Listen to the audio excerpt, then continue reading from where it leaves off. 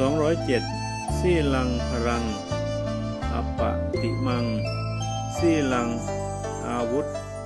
มุตตมัง สีลังอาภารนังเศทังสีลังกาวะ จามัปพุตัง ศีลเป็นกำลังไม่มีที่เปรียบ ศีลเป็นอาวุธสูงสุด ศีลเป็นเครื่องประดับอย่างประเสริฐสุด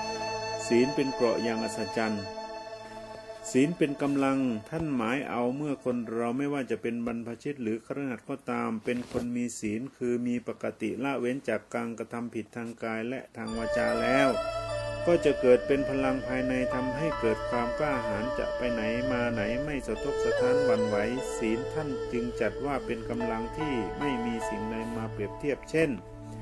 เมื่อไม่ได้ฆ่าใครก็ไม่ต้องหวั่นกลัวจะถูกเจ้าหน้าที่จับกุมคุมขัง ไม่ได้ช่อโกงหลอกลวงเอาสิ่งของใครก็ไม่ต้องหวั่นกลัวว่าเขาจะฟ้องร้อง ไม่ได้ผิดลูกเมียใครก็ไม่ต้องหวั่นเกรงว่าชาวบ้านจะมากันนินทา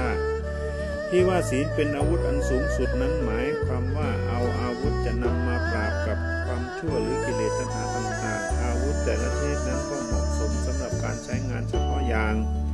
พวกบรรพชิตหรือพวกประพฤติธรรมใช้ศีลศีลวุธต่อสู้กับกิเลสต่างๆ จึงจะสามารถเอาชนะได้หากท่านผู้ใดมีศีลเป็นอาวุธไม่คมกล้าหรือแข็งแกร่งก็จะพ่ายแพ้ต่อกิเลสตัณหาได้อย่างง่ายๆศีลเป็นเครื่องประดับอย่างประเสริฐสุดบรรดาเครื่องประดับตกแต่งร่างกายเพื่อให้เกิดความสวยงามนั้น แต่ละชนิดก็ต้องนำมาใช้ถูกกับบุคคลกาลเวลา และวัยจึงจะสวยงามตามประสงค์ได้เมื่อ ลาล่วงเลยไปก็หมดความสง่างามของประดับบางอย่างก็อาจจะให้ผลร้ายกับเจ้าของได้ เช่นพวกสร้อยแหวนต่างหูไปยันใหญ่ เครื่องประดับหรือ เครื่องประดับคือศีลมีลักษณะตรงกันข้ามคือไม่จำกัดกาละเวลาเพศและวัยหากใครมีไว้ประดับตนเองแล้วจะงอกงามอยู่ตลอดไปไม่ว่าจะนานเพียงไรก็ตาม ศีลเป็นเกาะอย่างอัศจรรย์